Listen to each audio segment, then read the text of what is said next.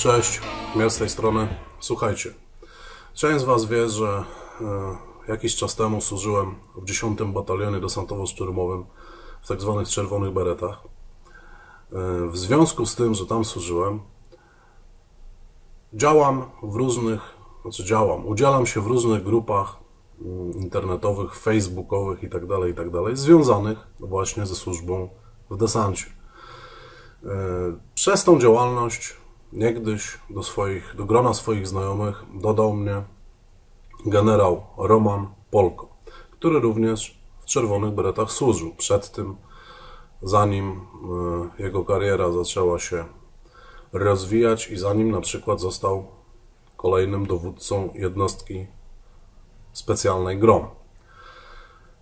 Byłem znajomym generała Polko na Facebooku. Co się z tym łączyło? Widziałem jego posty, widziałem jego aktywność facebookową i różne tego typu rzeczy. Wymienialiśmy czasami różne e, poglądy, między innymi jak e, w zeszłym roku, pamiętacie, wyszła sprawa likwidacji 6 Brygady Powietrzno-Desantowej i 25 Brygady Kawalerii Powietrznej. Między innymi ze mną też generał Polko korespondował. Od niego miałem między innymi te dokumenty, które dotyczące tej likwidacji, które upubliczniliśmy wówczas jako byli żołnierze brygady. W poniedziałek na profilu pana generała Romana Polko um, ukazał się nagle w osi czasu artykuł pana Piotra Zychowicza dotyczący generała, nieżyjącego już generała Petelickiego. Artykułu nie będę Wam tutaj całego przytaczał, wystarczy powiedzieć, że mm, artykuł ten, który pojawił się na profilu generała Polko, przedstawiał generała e, Petelickiego wyłącznie w ekstremalnie negatywnym świetle. Wypominano mu przeszłość w służbie bezpieczeństwa, w, konkretnie w wywiadzie cywilnym, wywiadzie MSW ówczesnym. Wypominano mu różne, mm, według autorów, niecne rzeczy. Generalnie artykuł miał wydźwięk wyłącznie negatywny i to naprawdę totalnie negatywny. Troszeczkę mnie to zdziwiło. Zdziwiło mnie to dlatego, że artykuł ten na profilu generała Polko pokazał się bez żadnego jego komentarza. Zabrzmiało to dla mnie, wyglądało to dla mnie zdeka nieelegancko. Pozwoliłem sobie napisać pod tym artykułem na profilu generała Polko komentarz. Komentarz Wam przeczytam. Komentarz Wam pokażę, ponieważ nauczony doświadczeniem zrobiłem sobie print screena tego, co zrobiłem, tego, co napisałem. Słuchajcie, napisałem taki komentarz. Ja bym oczekiwał komentarza ze strony pana generała Polko. Fakty dotyczące przeszłości generała Petelickiego są ogólnie znane od lat. Mnie ciekawi jednak, jaki jest cel linkowania tego artykułu bez komentarza, bo de facto o to mi chodzi. Zważywszy na to, iż między panem, panie generale Polko, a panem generałem Petelickim istniał istotny spór oraz biorąc pod uwagę to, że generał Petelicki nie żyje, to linkowanie takiego artykułu przez pana nie idzie w parze z pewnymi zasadami, którymi powinien się kierować oficer Wojska Polskiego. Chodzi mi konkretnie o honor. Choć to może w tym przypadku za duże słowo, to po prostu nieeleganckie. Tutaj popełniłem błąd ortograficzny. Inaczej sprawa by się miała, gdyby załączył pan swój komentarz. I właśnie o to mi chodziło. Zachowanie generała Polko w tym momencie wydawało mi się nieeleganckie, mm, no nie w porządku. No.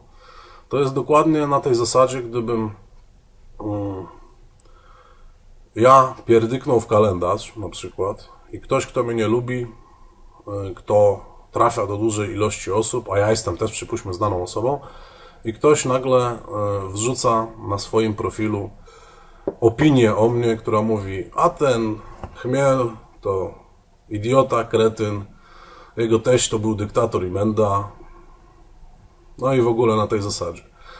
No, to byłoby zachowanie bez wątpienia nieeleganckie. E, zrobiłem tego print screena, w sumie nie wiem dlaczego, bo nie spodziewałem się, że tutaj się może coś dziać. No przecież generał Polko jest człowiekiem honoru. Raczej liczyłem na to, że odpowie mi coś, że na przykład powie, no a widzicie, miałem jednak rację, że, że generał Petelicki to był dziwny typ i tak dalej. Byłem nieco tą sytuacją zniesmaczony, ale po chwili się okazało, że generał Polko najpierw wykasował mój komentarz, a potem mnie zablokował, wyrzucił mnie jakby z grona osób swoich znajomych na Facebooku, uniemożliwiając mi tym samym śledzenie swojego profilu. To zachowanie, no to już w ogóle nie licuje, słuchajcie, z zachowaniem, już nie mówię oficera Wojska Polskiego, tylko to jest zachowanie charakterystyczne dla dzieci z przedszkola. To jest zachowanie szczeniackie. No. Takie jest moje zdanie. Bardzo się zawiodłem na panu Romanie Polko, na generale Polko. Yy, miałem pewne zdanie na jego temat.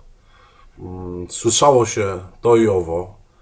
Mm, słyszałem o tym, że została mu odebrana honorowa odznaka jednostki GROM. Mm. Słyszało się zdania dotyczące jego osobowości, że to jest człowiek maluczki na tej zasadzie. No ale nie spodziewałem się, że to jest prawda, powiem wam szczerze. Okazuje się, że zamiast podjąć dyskusję i w jakiś sposób próbować naprawić jednak tą rysę na honorze oficerskim, no bo to zachowanie z tym cytowaniem strasznie negatywnego listu na temat swojego nieżyjącego adwersarza to było nieeleganckie i niehonorowe. Zamiast to w jakiś sposób wyprostować, generał Polko zadziałał jak cenzor. Czy zrobił dobrze, czy nie, pozostawiam to na waszemu zdaniu. I przypominam, nie chodzi mi tutaj o przeszłość generała Petelickiego nawet, która powszechnie jest znana. Chodzi mi o to, czy tak, jak zachowuje się generał Polko, powinien zachowywać się oficer wojska polskiego. Czy należy kopać nieżyjących? Należy stosować cenzurę zamiast dyskutować? Mój komentarz był dość kulturalny. Jeszcze pod tym komentarzem, co ja napisałem, E, pojawił się chwilę potem kolejny komentarz od e, oficera albo żołnierza, już nie wiem dokładnie, od też żołnierza, który e, przypomniał generałowi Polko, że sam skończył szkołę oficerską w Ludowym Wojsku Polskim i sam służył w Ludowym Wojsku Polskim, między innymi w czasach stanu wojennego.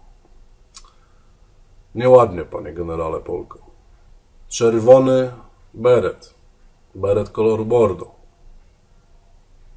I szary beret, beret gromu, w którym Pan występuje od czasu do czasu, do czegoś zobowiązują. Na pewno nie do zachowań z poziomu przedszkola.